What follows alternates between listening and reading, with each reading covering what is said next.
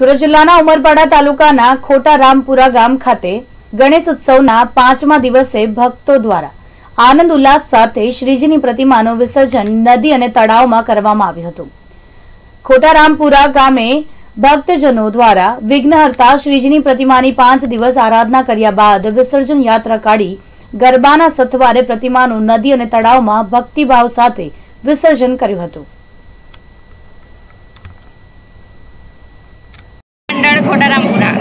અમે ગણપતિની સ્થાપના કરી હતી. આજે પાંચ દિવસ પૂરા થયા છે. ગામમાં વરઘોડા સાથે અમે આજે રંગેચંગે ઉજવણી કરીને અમે એમનું વિસર્જન માટે જઈ રહ્યા છીએ.